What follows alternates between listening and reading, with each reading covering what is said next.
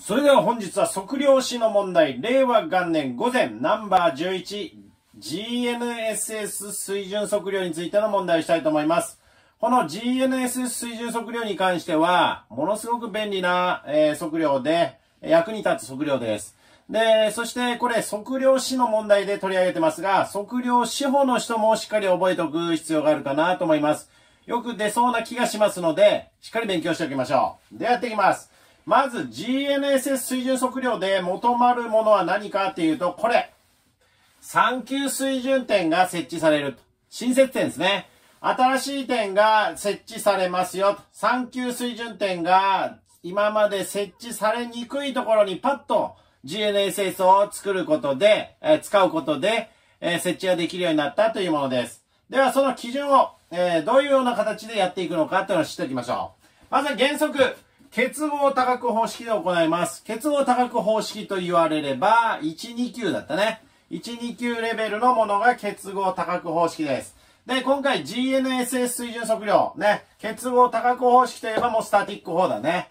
スタティック法で行いますということになります。で、今回は結合多角方式、スタティック法で実施しますが、あと使うものは何かというと、日本のジオイド2011。ジオイドモデルですね。えー、ジオイド高がわかるもの。えー、日本のジオイド2011というのを使って、えー、この2つを使って、この GNSS 水準測量が行われると。3級水準点が設置されると。新設点設置にはこのような方法で行うというのを知っておきましょう。で、えー、基準があります。このような形で書きました。この部分が基準点です。基準点、まあ水準点ですね。高さを表すので、水準点になります。水準点、基地点に関しては、1、2等水準点、あるいは1級、2級水準点。等というのは何だったかっていうと、これ国土地理のね、基本測量で表すのが等だったね。1級、2級点、級で表すものは何かって言ったら、これが公共測量だったね。えー、そういうのも知っときましょう。で、それが基地点です。あともう一つあるのが電子基準点です。電子基準点は標高区分、水準測量によるというものがついているものが使われるということになります。電子基準点。基地点はこの3種類だと。それをもとに測量をしていくということになります。今回この図で書いたのは、ここは新設点、3級水準点を真ん中に置きました。点のついてないやつね。で、これらが決まっています。まずは観測距離に関しては、決まってます。短ければいいというものじゃないんだね。これね。観測距離に関しては6キロ以上40キロ以下。ね、6から40だと。これは観測距離としては覚えておきましょう。なお、路線長になると、これは何かというと、基地点から基地点までの路線長だね。基地点から基地点までの、これからこうだね。新設点通っての路線長は60キロ以下だよ。観測距離に関して、この2点間の距離に関しては、この基準、6キロから40キロ以下ですが、それらを足す、基地点から基地点までの路線長に関しては60キロ以下だよ。そこもしっかり覚えておきましょう。なお、基地点の数は3点以上です。必ず3つ以上は用いるということになります。えー、結合多角方式なのでね、こういう風にしていかないといけないね。4点、5点、3点以上をします。で、なお、えー、点検測量率。ね、点検測量率は10%を標準とすると。許容範囲は 15mm ルート S という風になりますが、はい、この点検測量率って何かっていうと、点検測量するときの割合だね。だから、基線数がね、基線数に10%、0.1は10%だね。えー、10%かけてあげたもの。今回これ、この図であれば、3つだね。基線の数はね。1本、2本、3本だね。基線数が3本で0.1かけたら0.3だね。0.3と言われれば、もうこの点検測量はどんぐらいするかっていうのを1本しないといけないね。1本。ね、0.3であれば切り上げだからね。とにかくそれ以上をしないといけないよということになります。まあ、そのようなことも知っとく。はい。で、そして、最も重要なこと、これが測量資本に出るんじゃないかなと思ってんですが、セミダイナミック補正は行わない。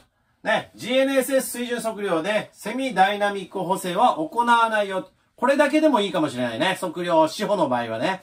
えー、測量司法の場合はこんだけでもいいね。セミダイナミック補正は行わない。なぜ行わなくていいのかっていうと、高精度なジオイドモデル。ね。あの、日本のジオイド2011っていうのが、えー、東日本で、えー、2011年から。で、西日本の方は、もう結構前になります。そういう高精度なジオイドモデルがあることによって、そのジオイドモデルの中で、元気からの地殻変動量は補正されていると。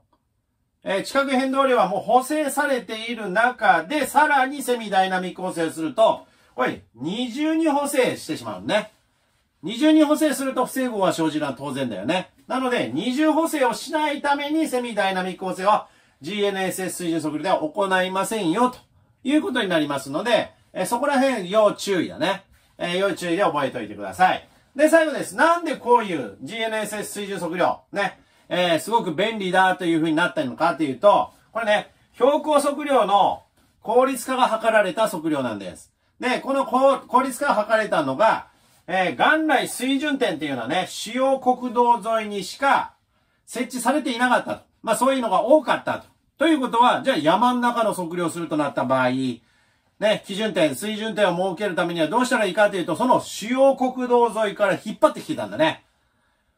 測量でね、普通の水準測量でずーっと引っ張ってきた。何回もしてね。で、引っ張ってきて山の中に基準点として水準点を設けていたと。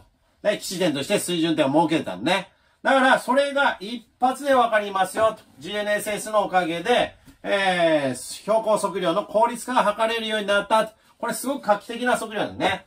で、それが大体平成29年、30年、それぐらいのあたりから始まっていったので、最近だよね。ここ4、5年だよね。なので、えー、テストに出てもいいのかな、というふうに思います。まあ、測量司法の人はね、せめてここぐらいはね、GNS 水準測量はセミダイナミック補正を行わないというところまで測量司法の人は覚えとった方がいいかもね。測量士の人はこれぐらいは、きちっと、ね、3級水準点と。3級水準点も測量司法レベルかもしれないね。そういうものが必要になってくるということになります。まあ、まとめたことに関しては、きちっと覚えておくことが重要ではないかなと思います。出るかもしれません。しっかりと復習をしてください。以上で説明を終わります。